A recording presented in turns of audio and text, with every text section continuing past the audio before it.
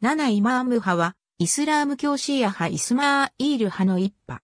イスマーイールイブン・ジャーファルが7番目かつ、最後のイマームであり、その息子、ムハンマド・イブン・イスマーイールがマフディとして、正義の時代をもたらしに帰ってくると信じる派である。有名な分派として、カルマト派が知られている。七イマーム派という名称はイスマーイール派すべてを指して用いられることもあるが、主流派のムスターリー派やニザール派は、イスマーイール・イブン・ジャーファルの子孫も含めてより多くのイマームを認めている。以下に挙げる人物は、ムハンマド・イブン・イスマーイールの子孫で、ファーティマ朝の応答につながる。